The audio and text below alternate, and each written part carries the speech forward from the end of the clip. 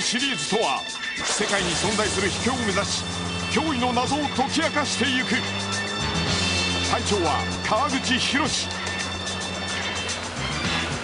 なき道幾多の困難を乗り越えその先に存在するであろう何かを求め走り続ける。大自然は文明の関与を決して許さない。自らが持つ力だけで森に分け入り切り開いていく。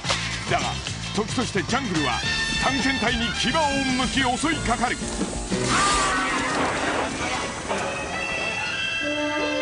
岩陰に潜む大蛇。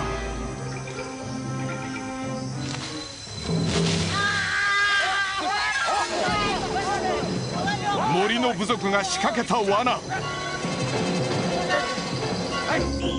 死と背中合わせの探検隊。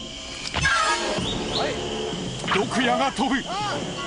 聖なる森に立ち入るなとばか？り